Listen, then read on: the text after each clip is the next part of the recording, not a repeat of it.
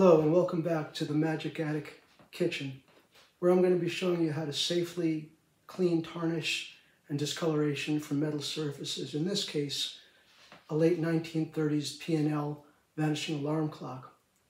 To do this, you need a few tools. One of them would be a very soft toothbrush.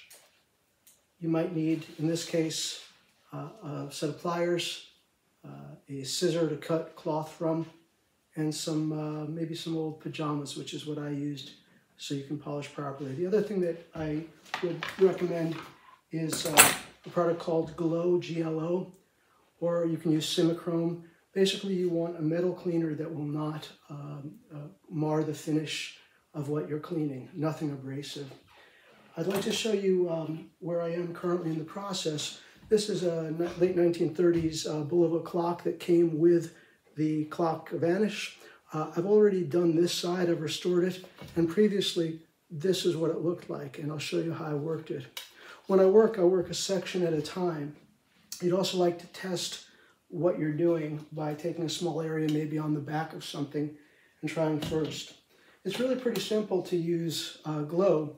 You take a very small amount of it and you apply it and then you rub it uh, lightly to cover the surface. You could use a cloth. I use uh, paper towels and a section at a time. So in this case, I would do the whole side of, of this clock.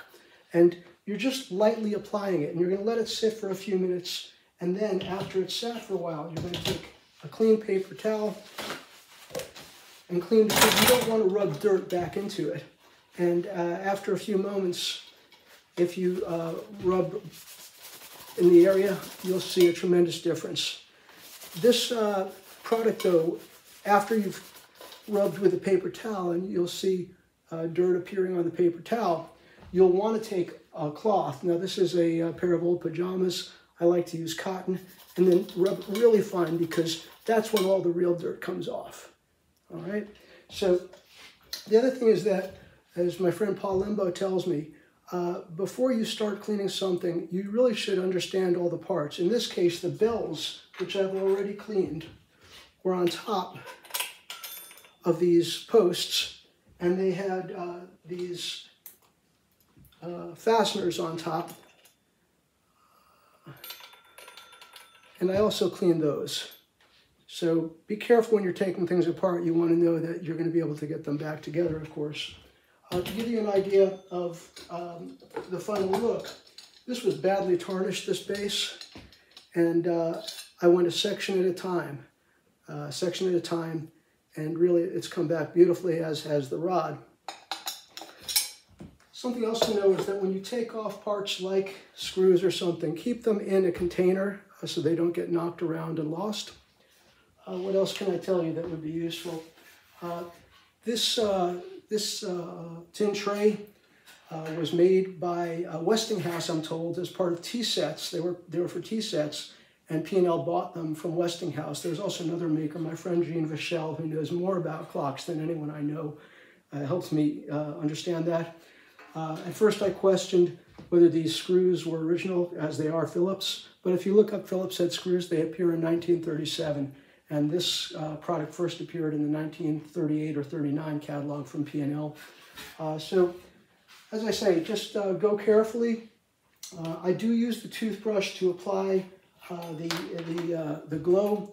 So um, I've got a ways to go with this. And I like to remove what I don't need on it, but what I might do is just take a very soft bristle brush and move it into the cracks and crevices you don't want to apply too much pressure because you don't want to have any kind of scratching, but this won't. But I can see as I'm doing this right now, uh, some of this really mucked on uh, surface uh, tarnish is coming off beautifully. Here's a close look at the finished result. I should have mentioned that this took me three or four um, goes with the uh, Gojo uh, to remove the tarnish. And in some cases, the rust. Also, uh, the use of the toothbrush allows me to get into crevices and corners, but again, go soft and let, let it sit for a little while before you wipe it off. The final polish with a uh, cloth uh, cotton cloth that's clean is very important. It'll get dirty, so keep rotating it. You don't want to rub dirt back into a finish. And uh, there's no damage to the finish now. And uh, this is a beautiful prop I'll look to perform soon here on the Magic Attic.